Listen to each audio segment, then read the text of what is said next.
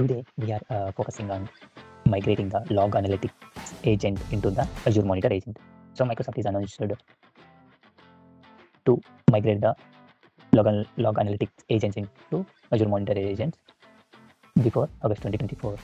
Okay, so right now uh, to get rid of uh, this uh, recommendation, we are going to uninstall the OMS extension and we are going to install the AMA extension to perform this activity. Just I'm taking a small use case like uh, I'm using the virtual mission scale set and uh, so whatever the workstation related logs, we are using the log analytic agent legacy one and capturing the, all the workstation related uh, uh, events related logs and everything. And uh, we are pushing those things into the log from log monitor service is uh, monitoring those logs and uh, generating the different insights top of the those logs. Let's see how we are going to install this uh, Azure Monitor agent. What it will do, it will capture all the log monitoring data from the workstations and it will push into uh, respective log to monitor in Azure Monitor service will take care to perform some insights off of those data. So this AMA Azure Monitor agent will help us to cost reduction and in terms of security it will give more compatibility compared to OMS and log analytics agents. So I don't want to go in depth, just to go to the Microsoft documentation, we'll get all the theoretical knowledge and everything. Uh, today mostly we are focusing on uh, just uh, virtual mission scale set related migrating virtual mission scale set uh, virtual missions virtual mission scale set into the OMS agent into the AMA agent. To, to perform those things, uh, to migrate those things, we need to follow the some steps. So I can downgrade the, uh, my instances uh, down to zero. After that, I can scale up what other things I need, or else without downgrading also. Instead of uh, uh, this activity, I'm applying the VMSS level. Instead of that, uh, we need to go to instances level and identify the OMS extension by using the type and the publisher name and delete from there running instances as well. So we can install the um, AMA agent underneath. So instead of going the instances level, I just I'm going the VMSS level uh, and uh, installing the AMA, removing the OMS extension and installing the AMA. Okay, let's uh, go step by step. Uh, just uh, uh, right now to perform this thing uh, in the, every organization, we have a lot of VMSS list and everything. We need to perform everything in manually means it will take a lot of time. So for that, we can write some automation scripts by using a PowerShell or Terraform scripts. We can execute top of the subscription level. So it will apply for the underneath subscription related VMSS list or VMs and whatever things. To perform this use case, I just I created. I'm using like Azure RESTful APIs to perform those activities. Um, so right now, um, we have um, like eight steps to perform this use case to remove the OMS extension and installing the AMA extension. Okay, uh, steps is like uh, just uh, first we'll uh, grab the token. After that, uh, we'll remove the existing OMS extension. Then after we can add the AMA extension. After that, to uh, to adding the Azure virtual agent, uh, it's a required uh, some data collection endpoint and a data collection rule as well. Okay, data collection endpoint will take care by the uh, in, uh, workstation related logs. So it will pull and push into the uh, uh, respective log by using that endpoint.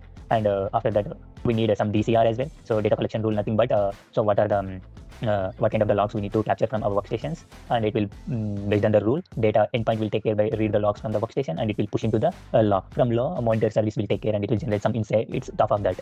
Okay. Uh, next, um, we need to associate our DCR into um, uh, DCR into the our VMSS, whatever the VMSS we are working, and uh, we need to uh, associate the data collection endpoint also into that uh, VMSS. So it will uh, uh, to by following these eight steps, we can get rid of a VMS extension and we can push the logs. Let's see step by step uh, how we can do this one. So everything I'm using the global variables to perform this uh, activity. Just have eight steps, eight RESTful endpoints uh, we need. So all the things, uh, uh, tenant ID, client ID, client secret, uh, I need a VMSS resource ID, subscription ID, uh, RG name. So I'm using the private endpoint, uh, uh, private uh, network by creating the DC. So for this, uh, to enable the communication within the private network, we need AMPLS ID as well. So um, and uh, our uh, log analytic workspace, I resource ID also we need.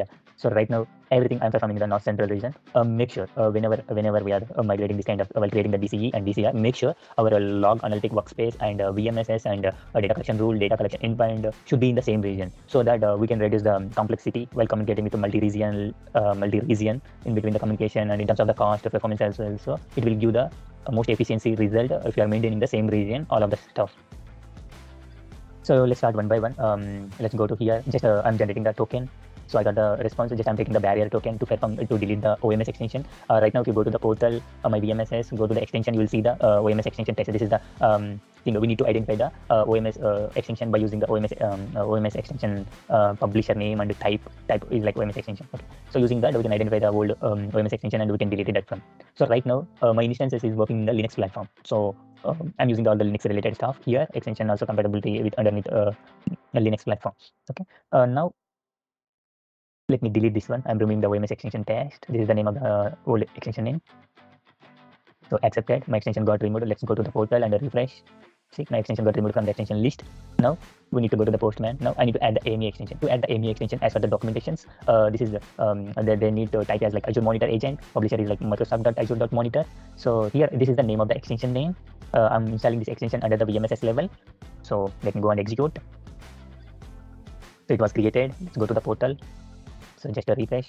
See, my extension is installed. Now extension is installed, but we need to uh, uh, push those uh, this workstation related logs to uh, law, right? So it's required some uh, data collection endpoint and data collection rule as well. Right? Let me create the data collection endpoint. So to create the data collection endpoint, I'm going to North Central region. This is the requested body as per the documentation they recommended. So I'm using the tags for my tracking purpose. Uh, properties right now I'm using the private network. So this is the body. Uh, I'm uh, just I don't want to open for the public forum. I mean public network for this uh, route, uh, this data collection endpoint. So this is the route. This is the name of the DCE data collection endpoint name. So this is the route uh, while creating the DCE. So let me execute this one. So your request to sending the request. It will take yeah 200. I got the success. Let me go to the DCE. So right now I don't have any DCE. Just a refresh. It will take a couple of minutes uh, to provision within the Azure platform. Couple of seconds, I can say. Yeah, my DCE is created. So right now um, DCE is created, but I'm using the private network, right? So I need to map this uh, uh, DCE into the my uh, AMPLS Azure Monitor Link scope so that I can uh, communicate uh, within the um, law and everything within the platform. Okay, let me add those things. So this is the route. Uh, this is the my MPLS resource ID followed by the scope name of the scope. So this is the request body. Like I'm giving the um, my data collection endpoint. So here uh, I created the data collection endpoint, right? So it will uh, generate the one resource ID. Like if you go on here open, you'll get the resource ID, right? So just copy that resource ID and uh, you can uh, add those resource ID under the private link resource here current session. So uh, just I'm using the Postman. So what are the things? Um, so if you go to the data collection endpoint, you go to the test. So just I'm uh, sending those after getting the response, I'm capturing the ID from there in the response, just assigning those things to the my environment variable. From there, I'm reading and appending here. Okay, let me execute this one. So it got 200. It's got succeed. So now DCE is created, right? So DCE is created and I added the MPLS to that one. So now I can create the DCR as well. So DCR. So to create the DCR, uh, this is the name of the DCR I'm using. Uh, subscription ID, RGNM, uh, just this is the route. So I'm going to the North Central. So I'm using the Linux platforms. So this is the tags. So mainly it will hold the data source and the destinations and data flows. These three attributes underneath.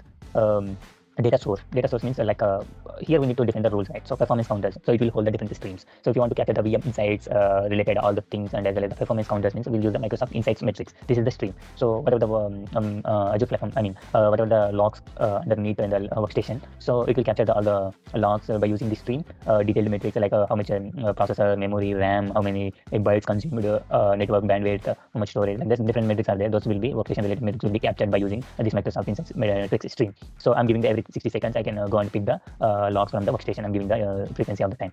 So if you enable this stream, so both performance counters and VM insights will be applied to the workstation. Right now, um, just I'm creating one rule. I'm giving the instructions, right? So uh, if you want to enable the only performance counter instead of VM insights, just I need only performance counter. Just you can uh, enable what are the things you need. Uh, right now, 49 counter spaces are there within the workstation. We can capture the details. Instead of that, you can see. Let's say if you want to use it memory, I don't. You don't need a rest of the processor related columns data. Just get rid of this three and replace only this counter space. So we can customize our um, what are the rules. I mean, we can customize what kind of logs we need to capture from that workstation. So like this, we can capture the logs here. Uh, if you are using one more thing like here, if you are using the dependency, uh, I mean service map, I mean mapping uh, thing. So if you go to the my VMSS level extension, I'm using the dependency agent. I mean, uh, um, uh, I'm using the service map. So what are the uh, my workstation? I mean, this VMSS is uh, mapping to any third party. I mean, uh, any other services. So it will give the graphical represent, uh, representation in the Azure Monitor service. You can go to the map uh, service map. We'll see the other representation. If you select some particular virtual scale mission, set a virtual mission. So that mission related, how many, how that mission is pointing to any other service. I mean, any other workstation. Like that, it will give some graphical representation how that connectivity is going. Like that, it will give some graphical representation by using the dependency. So if you want to add on the streams as well, those logs also, we can enable those things using the service map. So the, here we need to give the extension name. So right now dependency. Instead of that, whatever the dependency name you give me here, just copy the Linux, just copy this name of this thing and we can press here and we can enable that stuff. Okay. So here these are here we are specifying all the rules right, in the data source what kind of the um, data we need to collect from the workstation. Okay. Now destination. Destinations means uh, we need to push uh, workstation related logs to specific log, right? Log only workspace so here we are giving the name of the law we can give some random uh, name specification and uh, we can provide the workspace id workspace resource id it's like a law. You will create the law right? So that law related resource id just grab those law id and pay, placed here. Right now i'm using the south central uh, no sorry north central. Uh, so north central also is holding some law in the my rg level. So just i copy that resource id and just i can paste it here.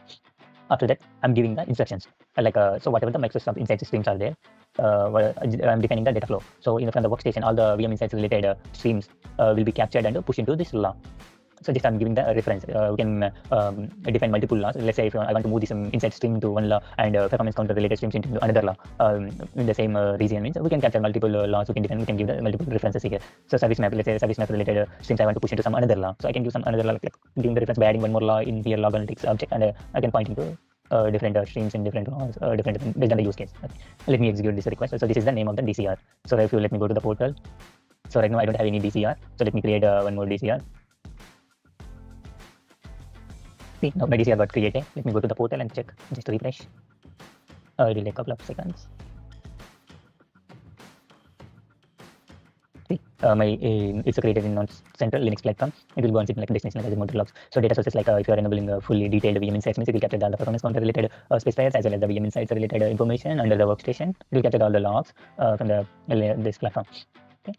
Now step six is completed. Now association. Now we need to um, associate our VMSS. So this is the VMSS, right? So this VMSS into uh, respective DCR. We created the DCE and the DCR, right? So we need to point uh, DCR to this VMSS, then DCE also into this VMSS. We need to map this uh, both DCE and DCR into this VMSS so that our logs will be uh, pushed into by using the AMA agent. Let me go and create the map. First, I will uh, map the DCR. So whatever the rule we created here, if you go to the text, just I'm capturing the um, ID and full resource ID and um, setting into the environment variable like current station DCR. Just go here and just I'm using this one. Uh, this is the request body. Uh, this is the route. Uh, so this is the naming convention of the association. Uh, you can use whatever the associate followed by whatever the naming convention. You can use user friendly or GUID number. So this is the association name. Just execute the request. Yeah, I got the succeed. Okay, it got associated. Now go go to the data collection rule. DCR associated to the VMSS. Again, I'm going to associate DCR. Sorry, DCE. So this DC also we created here, right? So if you go to the text, just whatever the session current session DC, just I'm capturing from there and current session DC here. Just I'm using here data collection in point here as the request body. So here also uh, while associating DCE, this is the route we are using configuration access endpoint API followed by the version. Okay, this is the route uh, we are using while mapping the DCE into VMSS. Just execute this one. We got the success rate. So now we completed the entire migration. Okay, OM, OMS into AMA agent. Now we need to check the logs, how we can validate whether the uh, OMS extension is removed and uh, agent is taking care of all pushing the logs from our workstation or not. How we can uh, validate those things means just go to the portal and um, go to your log.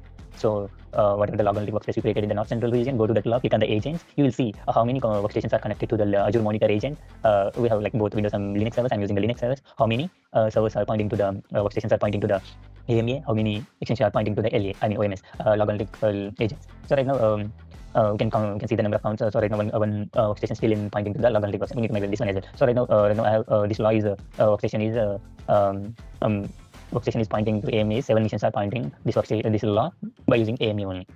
So now we need to go to the log. Just click on the log. So we will go to this window, this redirection here. So now we can check them. So this is my previous log. Let's execute this one. So how we can check the heartbeat of that one.